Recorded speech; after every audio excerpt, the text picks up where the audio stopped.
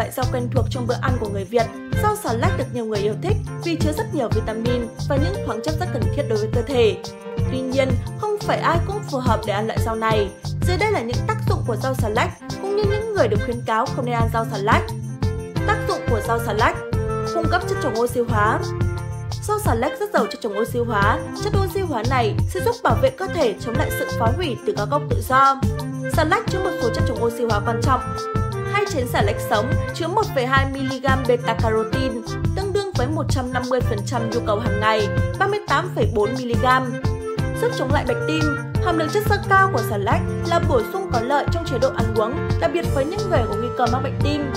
Chất xơ có thể giúp giảm cholesterol và thay đổi cách cơ thể hấp thụ đường, hạn chế tăng cân, từ đó tăng cường chức năng tim và giảm huyết áp. Một chén xà lách nấu chín có tới 5,2 g chất xơ, chiếm 1 phần 5 nhu cầu hàng ngày. Tốt cho não bộ và có thể chống lại bệnh ung thư. Ngoài ra, rau xà lách cũng rất tốt cho não bộ, cũng như có thể giúp chống lại ung thư. Theo đó, trong rau xà lách chứa một số chất dinh dưỡng quan trọng giúp cơ thể có thể giảm nguy cơ ung thư.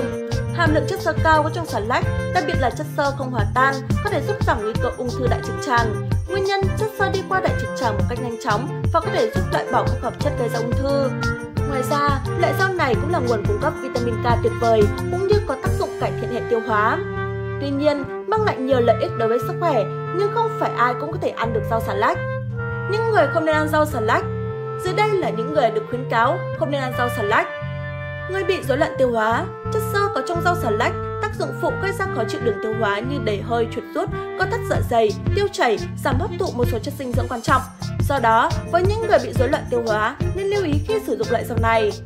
Người đang dùng thuốc chống đông máu, Đối với những người đang dùng chống đông máu có hàm lượng vitamin K cao, nếu ăn nhiều rau xà lách sẽ ảnh hưởng tới hiệu quả của thuốc, nguy hiểm hơn có thể dẫn tới máu đông cục phụ nữ mang thai, thực phẩm sống luôn chứa một loại vi khuẩn lớn và ký sinh trùng gây hại chưa bị tiêu diệt.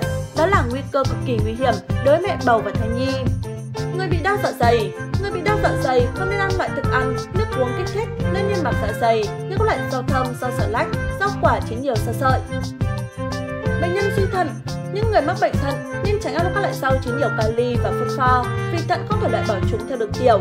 Trong khi đó, xà lách lại chứa một lượng lớn hai chất này, do đó người bị suy thận nên hạn chế sử dụng. Cơ thể có mùi khó chịu, ăn loại rau chứa nhiều lưu huỳnh thường khiến cho mồ hôi có mùi khó chịu, Những loại rau có màu sậm có thể làm cho nước tiểu có màu.